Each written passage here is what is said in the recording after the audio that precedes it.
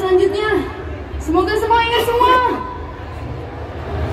Dan hidupnya ada bintang-bintangan. Bintang kehidupan khusus